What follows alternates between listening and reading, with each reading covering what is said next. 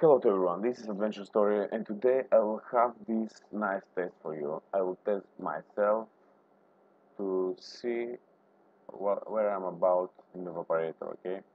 First of all, I will enter Adventure Story, the last name,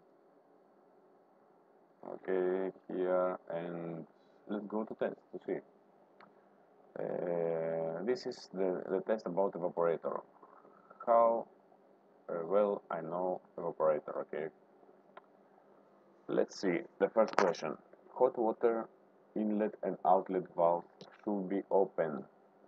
Mm, when should be open inlet and outlet valves, okay? Uh, the correct answer here is uh, the A, when there is a minimum 90% of vacuum. This is the correct answer. 30% vacuum is not correct. Okay, let's continue next. The injector pump supplies what supplies? Coolant in the form of seawater to the condenser, feed water for evaporator and water for the combined brine air injector. Uh, this is the correct answer. Okay, let's continue. Next okay if you like to see the next uh, also answer. Water of combined brine and drink only? No. Let's continue. To number three. Air valve installed on the upper part of the separation vessel should be open during vacuum creation procedure. No should be closed. Should be open after stopping the plant. Should be remain closed at all time. No.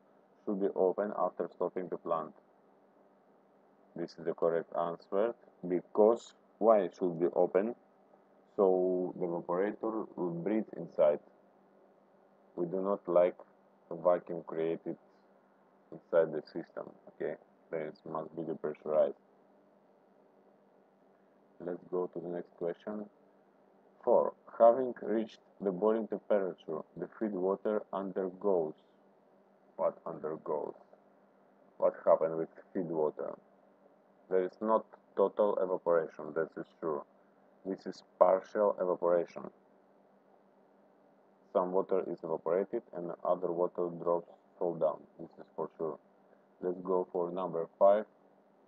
The combined brine air injector is supplied by injector pump. This is the correct. Number 6. The evaporation temperature 40-50 corresponds to a vacuum of I believe uh, this uh, operating temperature must be vacuum 90 95% yes it's correct.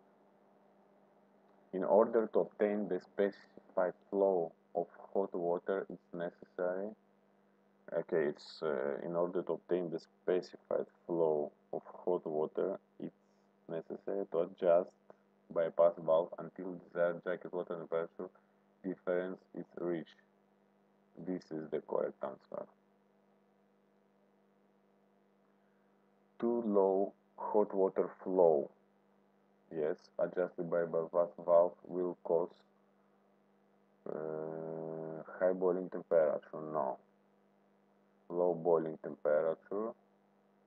Too low hot water flow low boiling temperature and drop of fresh water production.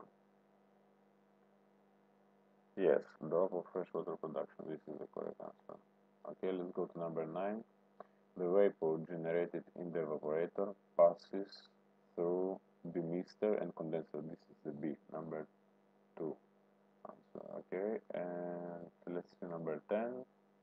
The fresh water produced in the is delivered to a tank by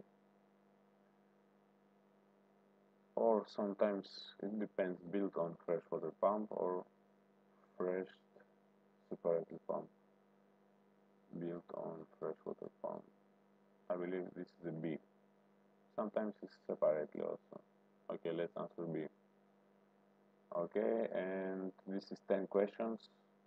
I will press end and I will see my results.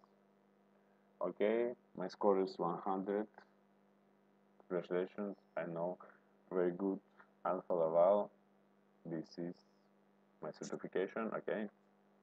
I will press exit and I will finish. Okay thank you for watching this adventure story. Watch more videos. You can see more videos uh, in the list of marine engineering.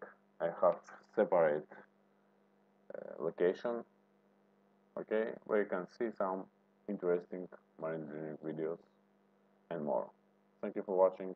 Bye bye